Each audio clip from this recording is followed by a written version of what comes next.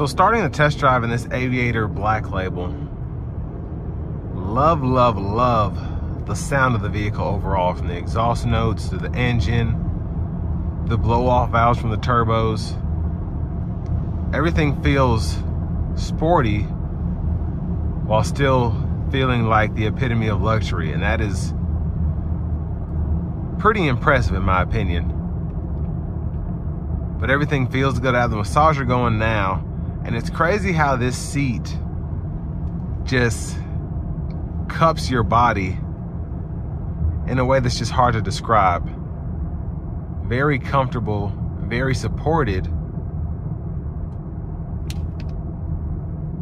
Just a great job by Lincoln with these seats.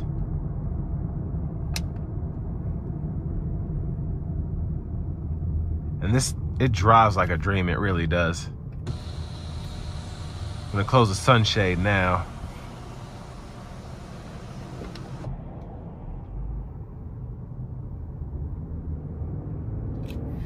Now, I think I have this in, yeah, I have it in normal mode now.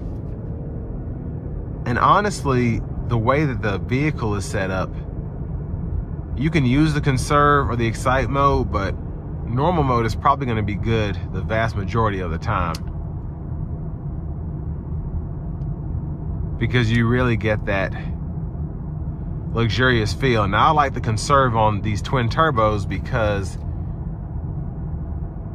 it helps save on your gasoline, but it's still, it feels more luxurious than an eco mode. And I've said this before about the Navigator, and this one here is no different.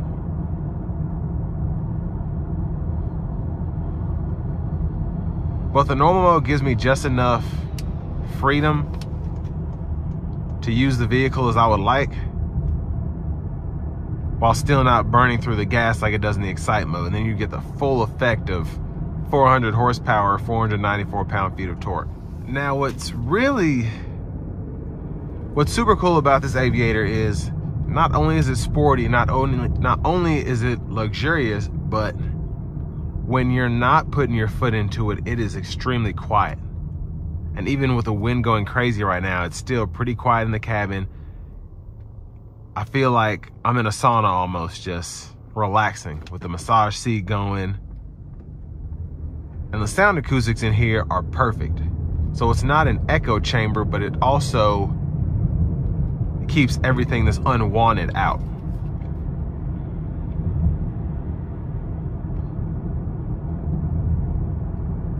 And I always think of Mercedes when comparing interiors, and this does a great job at trying to beat Mercedes at their own game. Again, the interior is plush.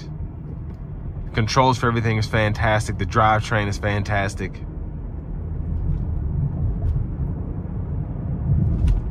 And honestly, for the money, if you want to compare it to, I don't want to necessarily say a GLS, but maybe a, a GLE, that's probably not a good one either. I'd probably go with the GLS, honestly. This does a good job in every sense comparing to something that's a little bit more money. Depending on how you option out a GLS, a lot more money.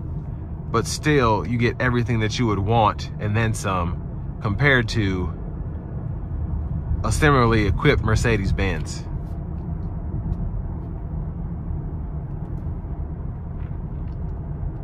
And it's kind of weird when you look at the Navigator. The Navigator has really, what Lincoln has done, which I think is super smart, is the Navigator is still that almost limo vehicle for those who need an executive SUV or that want the room of an Expedition.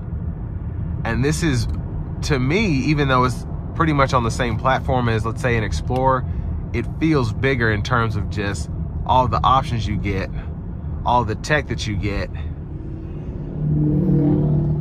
So to me, it puts it in a class of its own. It really does.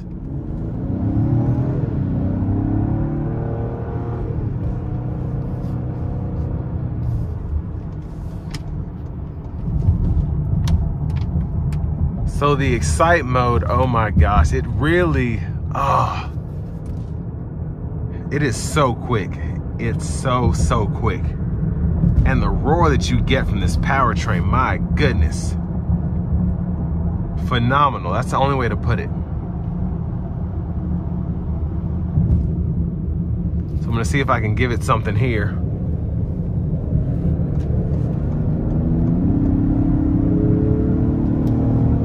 So quick, so quick.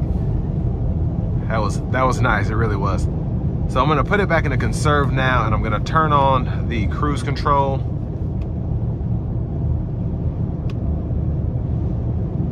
And then it's great to have the, the heads up display here because I can see all the cruise controls right in front of me, whereas the steering wheel's kind of in the way here. So some stuff's down there below, but this is right in my face.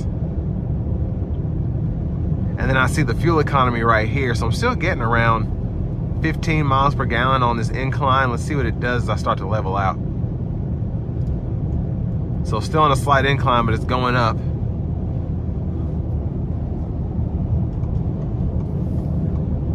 And as we start to decline, you'll see it go towards that 40 marker.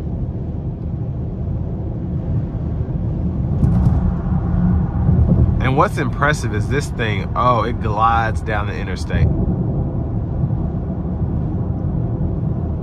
And minimal road noise, even with these 22s on here.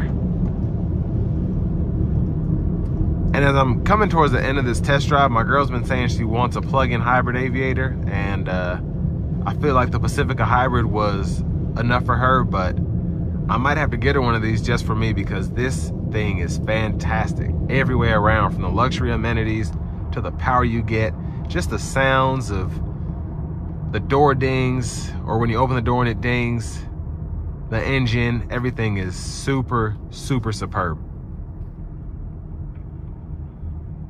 just so luxurious all the way around. And the price may seem steep, but compared to what else you can get for the price, it's pretty much top notch in my opinion right now. Not a lot touches it. And then you can still get that $7,500 tax credit with the hybrid. But just an impressive, impressive SUV still. And this will bring me to the end of my review of the 2023 Lincoln Aviator Black Label.